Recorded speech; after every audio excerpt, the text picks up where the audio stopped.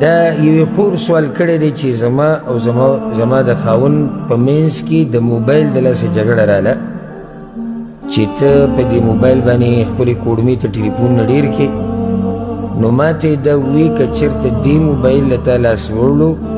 نو بیا خپل کور ته ځه دو پیری دا خبر وکړه یا درې پیری او سوال دا دی چې ما ته یو بیا کله تپوس وکړو چې ستا نیت څه وي چې نیت زما دا و چې ما ته یې رولي چې بیا ته د موبایل استعمال نه کړي نو دا طلاق و یعنی دا به طلاقي که چېرته زه دې موبایل له لاسه وړم ځکه چې هغوی کور ته ځه دا به طلاق حسابیږي او که نه الجواب د جواب نه مخکې د دې مسلې د جواب نه مخکې دا یاد ساتل پکار دي چې دا نن سبا د موبایلو دا فتنه چې ده دې د ښځې او د خاوند رشته هم تباه او برباد کړې ده او کور ته ورننوځي یو سړی لکه دا تصویران نشر کېږي تاسو ولیدلي په دې سوشل میډیا باندې لکه یو سړی غریب چا کره میلمه تللی دی هغه کوربه چې دی پنځه شپږ په موبایلو کې ګوتې وایي میلمه غریب ناست دی دیوال ته بس بیا لږ ساعت بعد وایي سړی بس زه به لاړ شم سپین ږیری سپین ږیری قدر نشته سپین ږیری په مجلس کې ناست دی یاران لګیا دي په موبایل کې ګوتې وایي د پلار مور قدر نشته وړیا دی بالله پلار نشته غریب په موبایل کې ګوتې وه مور نشته ده او دی په موبایل کې ګوتې ویلي عالم نشته دی په موبایل کې ګوتې وایي مشران نشته دی په موبایل کې ګوتې وایي میلمه نشته بیمار نشته دی په موبایل کې ګوتې وایي دی بعضو خلکو خو بلکل د دې موبایل نه سم یو یو یو شی ته جوړ کړی دی نو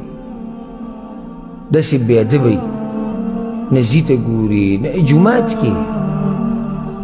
بس جومات کې لکه سلام وګرځوي که نه نو موبایل به داسې راوباسي چا میسج یې کړي هېڅ حیا یې نشته د الله نه یعنې دې ځکه هم د ده سوچ دې ته ځي چې ما ته به چا میسج کړی او دې کې سوچ نو چې ما چې د مونځ کو د په څه حال وشو دا به الله قبول کړي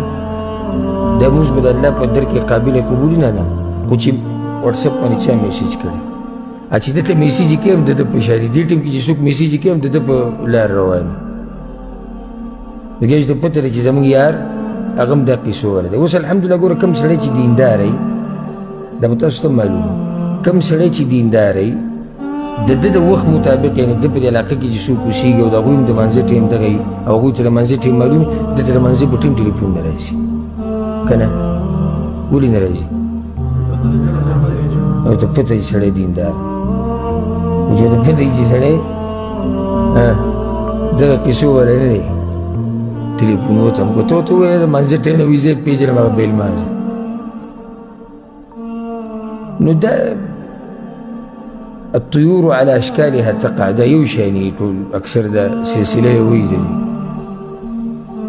دې موبایل ما تبعی وکړه خځې او خاون رشته ده کوز دا دلته دا خځې او د دې سړي په منځ کې دا مسله د موبایل له سره ده سړی په کټ کې پروت په موبایل کې وګوتې وي ښځه کټ کې پروتې د خاون په خوا کې موبایل کې وګوتې وي بچي غریبانان د هغوی تربیت ونی شي هغوی له ټیم نور کړی کېږي بچي ځان له په موبایلو کې لګي هر څه ترې ختم شوي دی بیا دا یو حقیقت ته څوک خفه پې نه شي خو زمونږ د پښتنو ترقي لږه وروسته کړې ده په دې شینو کې یعنې نور قومونه زمونږ نه مخکې دي نو هغه پښتو کې یو متل وي نادیده چې پدیده شي نو رڼا ورځ به توره شپه شي دا شینه دې بعضو نوي لیدلي دي که نه نو هغوی ته سم یو سپینګیری به ناسي سپینګیری دیم په فیسبوک باندې لایو ویډیو او ټیک ټاک او یوټیوب دا شی ډېر پیژي او دې سپینګیري ته وایي چې قرآن راوله وایي زما چې به پرې نه وکړي زه نه پوهېږم په دې باندې د دې موبایل دپاره ده د فیسبوک ټکی زده کړو حالانکې د فیسبوک د انګلیش ټکی ده دی زده کړو چې د موبایل کې کوم ځای کې دی دا ټیک ټاک کم ځای کې دا یوټیوب کم ځای کې دا انسټاګرام کم ځای کې دا او دا شي نه ټول یاد خو دا د الله دا کلام د ده شپېته کاله عمر دی پنځوس کاله عمر دی ده په جومات کې ده په کور کې پروت دی دی پرې نه پوهېږي کې شوق نشته هر شی زده کېږي په شوق باندې یو چې شوق د یو شي سره نه که نه ډېر تعلیم یافته موږ لیدلی دي چې په دې موبایلو نه پوهېږي درته ووایم ډېر تعلیم یافته دیني اکثر او دنیوي پکې وو چې هغوی د موبایلو په چلولو نه پوهېږي سب څه خیال چې دی جاهل دی ځکه نه پوهېږي ها ولې نه پوهېږي شوق یې نشته ورسره دا د کار سړی دی د ده د کار سره کار دی هغه چې پالتوی دی خپل ژوند دقې شان تباه کړي ذکر نه کړی دی خبرې ته سوچ کوم پکې تاسو به ته سوچ کړی یا نه لکه زمونږ د جون خاصم دا مسیب موږ پکې څه کار نه دی کړی د الله لپاره خو دې باسو ته وګورم زم لکه دې په ستمه پروت دی چې زه به الله سره ملاو شم زه به الله ته څه وایم د اوسه پورې دېرش کاله عمر تا تېر کړو پنځه دېرش کاله تا څه کړي دي وزه سهار پاسم او د شپې وده کېږم او ډوډۍ خورم او کار کوم او موبایل ګورم او یاران او دوستان او عیش او عشره بس دغه ژوند دی دا ژوند خو څاروي او ځناور هم تېری څاروي او ځناور هم تېری هغوی هم راپاسي په څه پسې ګرځي په خوراک پسې چې خوراک وخوري بیا په څه پسې ګرځي بیا په شهوت پسې او دا او دی وویزي چې سهار راپاسم زم دغه مزدوریانې کوم او خېټه ډکوم او بیا دغه شهوت دی نو فرق څه شو دا موبایل لږ په حدودو کې استعمالوي حدود دې ته هم وایي چې د الله لحاظ پکې وشي خیر د هېڅ خبره نه د الله لحاظ پکې کوي او موږ ته پته ده بس پې ځان وژي والله که دې ورته وسوي چې دا درس چې کېږي د دې به لس ریاله ورکې په هفته کې ته به بیا وینې چې دغه قسمه خلک که چېرته درس کېږي چې دې ته له بیا درس راځي او که نه راځي خو میاشت لا ختمه شوي نه او دی د موبایلو په دوکان کې ولاړ او په یو نیم سل او په دوه سو ریاله ورته نیټه اچوي هیڅ پروايي نه خو دقه ورته ووایه وایي داسې کار کوو هره میاشت به پنځوس ریاله جدا کوو غریبانانو له یا د دین دپاره یا د دې جومات دپاره یا د علماو دپاره یا د مدرسې دپاره موږ څو ملګري لس لس ملګري هر یو ملګری به پنځوس ریاله یې ږدي یاره موږ ځان له غریبانان یو دا پنځوس ریاله او دا خو ځان له لوی شی دی او بیا د میاشت په اخره کې موبایل په دوکان کې به یې ګورو په دوه دوه نیم سوه ریالو ته کارډ به راځي دا صرف د انټرنیټ کارت دی بغیر د ټلیفون د کارت نه او د هغې استعمال نه جدا ده دا سړی به الله له څه جواب ورکوي د دین دپاره په میاشت کې پنځوس ریاله دې تا سره نه شریک کېږي او د نیټ دپاره درې سوه خو کمې دي که چېرته دا ریټ زیات شو که نه نو تاسو څه چې نیټ به پرېږدي که دا کارډ به پنځه سوه شي د میاشتې پرې به یې اخلي به که په شپږ اوس او شو مخلي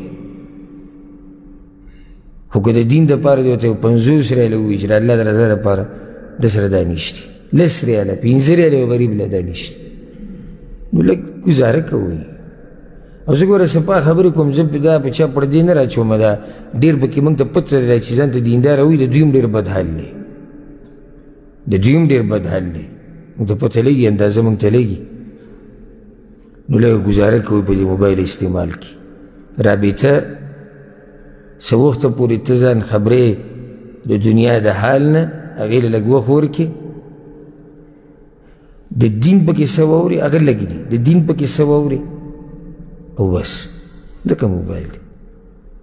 او دې ته په مخه کېناسته په کټ کې پروت ورته ګورې که په ګاډي کې ناسې ورته ګورې که بس پکې ته اوس ته په تشتي باتروم کې د نه موبایل ګورې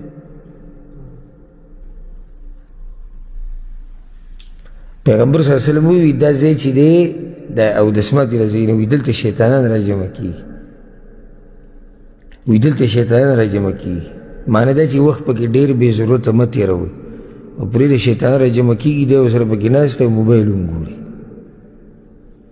د څه وخته پورې چې کله د خلک په اکثر خلک په فطرت او په درنوالي نو په باتروم کې دا خبره کول به مې یو سړي ته ډېره ګرانه ښکارېده وړه ویاک به خوښ وي او دسماتي ځای دی او اوس پکې ناستې دی ته موبایل ګوري فیسبوک او یوټیوب او واټساپ دا په کوم ځای کې چلېږي په باتروم کې او د الله په کور کې دنه قرآن نشي راغستی د الله په کور کې دنه نور ځینه پرېږده نو دا حقایق دي یاد ساتل په کار دي او که څوک به خفه کېږي الله دې خوشحاله کړي زه دلته دې لپاره نه یم چې تاسو خوشحاله کړم موږ ته پته دی خلکو حالات څه دي د موبایل سره تباه و برباد کړو دې بعضو پکې ځان ایمان غیرت پیسې کور رشتې هر څه ختم کړي خو موبایل نه ختموي موبایل نه خراب کوي ضرور وران شوی دی د ښځې سره چې دا په دې ټلیفون باندې ډېرې رابطې کوي د خپل کور والو سره یوې دې نقطې ته اشاره وکړم چې ښځې د دې نه منع کول نه دي په کار چې د کور والو سره رابطه کوي یوه دویمه ښځې لم په رابطو کې ګزاره په کار ده لکه یو نیمه ښځه دی که چې کور ته ورننوځي دا د کومو چې واده شوی دوی به تجربه وي یو نیمه ښځه دي چې د کور تورنو چې دا به لګیا د مور سره چې بیا لږ څه بدله شي دا به لګیا د پلار سره چې بیا راشي د ورور سره نو د دې خاوند هم څه حق دی که نه که نه دا په مخه لګي خور ده او ورور دی او ترور ده او ماما دی او کاکا دی رابطه کوه خو په حدودو کې د نه د دې خاوند د ټولو نه زیات حق دی په تا باندې دی رورو ته دا ویلي که بیا دې موبایل لاس وړلو نو ته کور ته ځه اوس دا طلاق دي که نه دي نو یاد ساتئ دا خبره چې د طلاقو الفاظ په دوه قسمه یو ته ویل کېږي صریح الفاظ او دویم ته ویل کېږي کنایت د صریح الفاظ چې الالفاظ الصریحه په عربۍ کې ورته وایي یعنی دی کې د طلاق خبره ښه واضحه یې غالبا لکه مثال ته مې طلاق کړې ته طلاق شوې زما د طرف نه طلاق یې او دا قسمه خبرې نو دا خو واضحه دي په څه کې په طلاق کې دویم قسم الفاظ دی هغې ته ویل کېږي کنایات کنایات دا داسې الفاظ دي چې د طلاق طرف ته په کوم ذهن ځي او کیدی شي طلاق یې نه وي ورکړي یعنې دواړه قسم الفاظ پکې یا دوه احتمالات پکې شته کیدی شي طلاق ورکړي کیدی شي نه ضرور چې دا کومه خبره کړې دا صریح ته که کنایت دی کنایت دی وی کور ته به ځې نو یاده کوي دا خبره